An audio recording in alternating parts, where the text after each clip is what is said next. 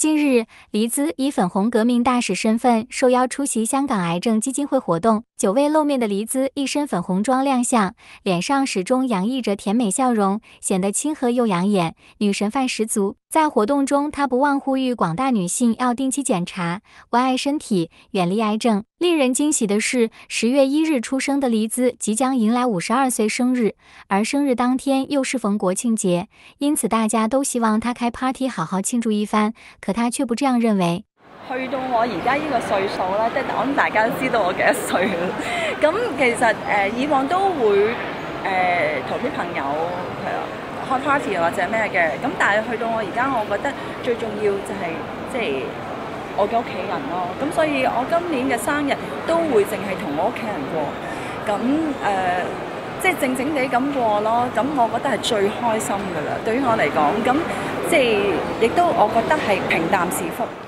另外提及三个可爱的宝贝女儿，黎姿开心的合不拢嘴。被问到女儿有否跟她分享少女心事，她就坦言女儿还小，目前学业为重，不过希望他们越迟拍拖越好，最好十八岁再拍拖。